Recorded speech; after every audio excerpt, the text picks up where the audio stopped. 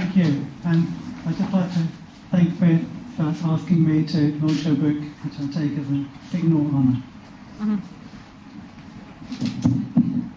20 years ago, I bought, with my own money, mind, a small but exquisitely formed book of poetry called Things in a Glass Box from the Five Islands New Press Poet Series. Today, I am pleased to be launching another, even smaller, even more exquisitely formed book of poetry, this time from the Flying Islands pocketbook series. Beth's writing has island hopped, you might say, to China, joining in Kit Kelen's pocketbook adventures. And part of the promise of this book is the extra, prospective, almost secret pleasure the translation offers to both the Chinese and the English-speaking reader. I can only envy those who can read every page of the book in either language. What a sea of possibilities must open up to them. Fortunately, even for an inadequate monolinguist, Beth's work is exploration enough. Things in a Glass Box, Beth's first book, has on the cover an image that is half mysterious object, and I realise now, looking at the right-hand pages of this book, half pictograph. This image sums up perfectly the collecting, feeling world inside the book, so that even when, shamefully but predictably, I did not actually open Beth's book for a number of years, mm. whenever I saw it mentioned or caught sight of it on the shelf while searching or purging my collection, the image flashed the poetry out of me again, to do yet again the thing. Because that's what memorable poetry does, isn't it? The thing. And however minutely it is described, uh, not by me, obviously, it amounts to no more or less than that. It was, in this case, the same thing that Joseph Cornell does, or Marcel Duchamp in his travelling box. And it wasn't and isn't the same thing that any other poet does. Beth's book survived many purges, so it was no surprise to me that when I became reacquainted with it and acquainted with Beth, thanks to the glorious internets, I immediately thought of the things in the glass box, and with the same result as ever.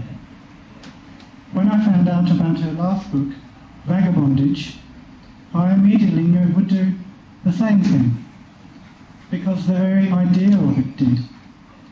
And this is the marvel of it the idea of living in a caravan and moving around, writing about what arises from within and without, from now and before, is quite enough. And if you add to that actually living in a caravan and moving about and writing about what arises from within and without, from now and before, the riches just pile up. As Roy and H.G. might say, too much caravan is never enough. this little distillation we launched today flashes time and time over, I think, with Beth's determination that yes, here's a lived and remembered life unreservedly felt, but it's felt through art. As Beckett didn't say, ever tried, ever felt, no matter. Try again. Feel again feel better. So when at the start of the Museum of Fire she quotes Peter Tyndall, a person looks at a work of art, someone looks at something, it is an aha moment that lasts the whole book through. Because like Tyndall, Beth's statement is always true, always the same, and yet infinitely variable. Looking back in this book, as 20 years of art evocation flow by, seen through the glass of a display case, a caravan window, or a train window, or even, you might think, through Beth's glasses.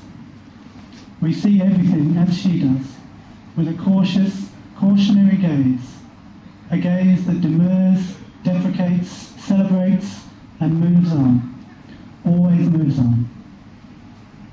There is something wonderfully historical about this book, furnished by its modern, elegant lines. No museums now like the museums in this book.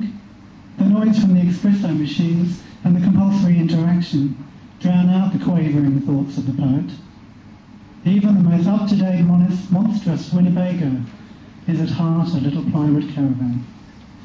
Even because we all seem to look inwards, into screens, into ourselves nowadays, the insistence on simply looking out of a window, or even just at the window being there. And my mother sits by a window knitting. The garment multiplies, thick and soft between her fingers. And Gertrude Stein has Alice Toklas say, I like a view, but I like to sit with my back turned to it.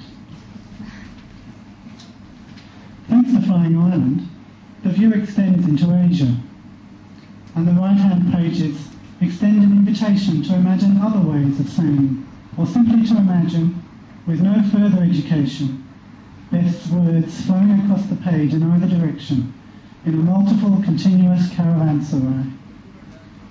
And when you shut the book and look at the cover, it's all very simple. Beth Spencer is a work of art.